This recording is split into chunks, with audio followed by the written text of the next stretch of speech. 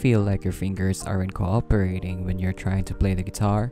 What if I told you there's one simple exercise that can transform your guitar playing in just 30 seconds per day? It's called the 4 finger warm up, and if you start incorporating this into your daily practice, your finger strength and dexterity will skyrocket. Before you start practicing today, spend 30 seconds doing this. Start off on the first string and place your pinky finger on the 4th fret. Then place your ring finger on the 3rd fret, then your middle finger on the 2nd fret, and then your index finger on the 1st fret. Then move up to the second strings and repeat this pattern. Then do the same thing on the other strings too.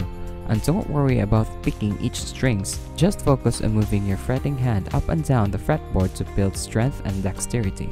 This quick routine builds that critical mind-muscle connection, making chord transitions smoother and your playing feels effortless.